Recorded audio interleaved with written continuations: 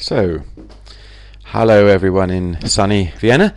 It's Nigel Stonham here, um, talking to you about the event on 4th of September Ideas Meet Money.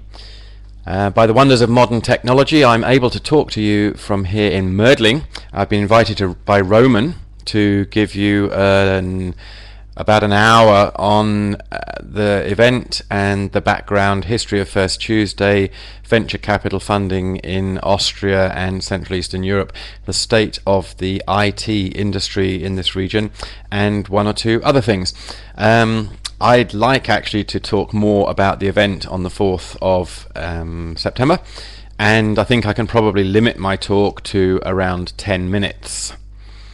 What I'd like to cover is the little bit of background to the event, what the event will consist of on the day, the format, who it is targeted at, and who should come, who's coming at the moment, how to get involved, and what you can get out of it.